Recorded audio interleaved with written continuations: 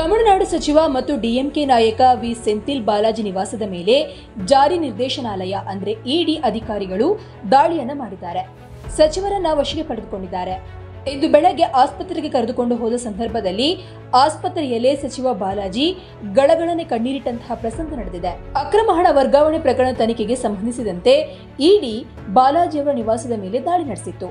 ದಾಳಿಯ ನಂತರ ಇಡಿ ಬಾಲಾಜಿಯನ್ನ ಹದಿನೆಂಟು ಗಂಟೆಗಳ ಕಾಲ ವಿಚಾರಣೆಗೆ ಕರೆದೊಯ್ದಿದೆ. ಇಂದು ಬೆಳಗ್ಗೆ ಇಡಿ ಅಧಿಕಾರಿಗಳು ಬಾಲಾಜಿ ಅವರನ್ನ ವೈದ್ಯಕೀಯ ಪರೀಕ್ಷೆಗಾಗಿ ಚೆನ್ನೈನ ಒಮ್ಮಂದೂರಾರ್ ಸರ್ಕಾರಿ ಆಸ್ಪತ್ರೆಗೆ ಕರೆತಂದಿದ್ದಾರೆ.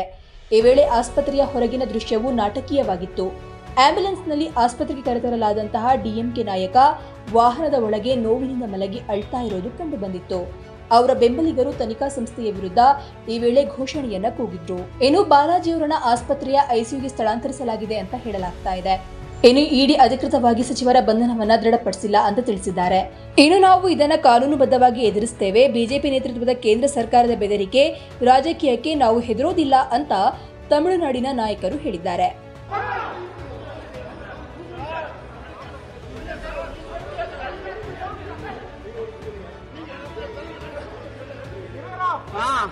ಎತ್ತಿಡ್ರಿ ಎತ್ತಿಡ್ರಿ ಎತ್ತಿಡ್ರಿ ಎತ್ತಿಡ್ರಿ